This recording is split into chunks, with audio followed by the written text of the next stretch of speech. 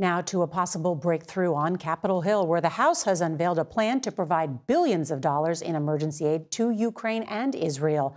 But the move could endanger the Republican Speaker's future. CBS's Scott MacFarlane is at the Capitol. All right, good evening, Scott. So, what do we know?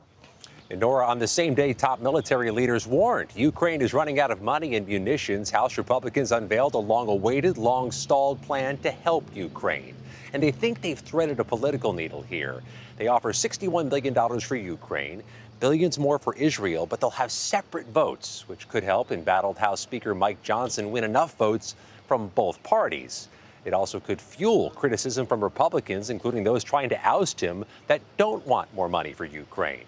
Johnson tonight says he doesn't need Democrats to intervene to save him, but multiple Democrats told CBS News they would if it meant more money for Ukraine. And Norah, the bill got a big jolt. President Biden says he supports it too.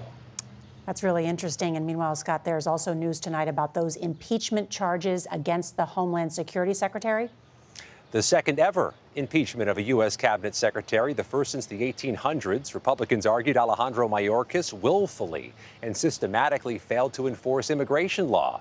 Democrats today said it was political, and on party lines, they voted to dismiss both articles. It began after lunch and ended before dinner. So now it's all done. It's all done. Scott MacFarlane, thank you.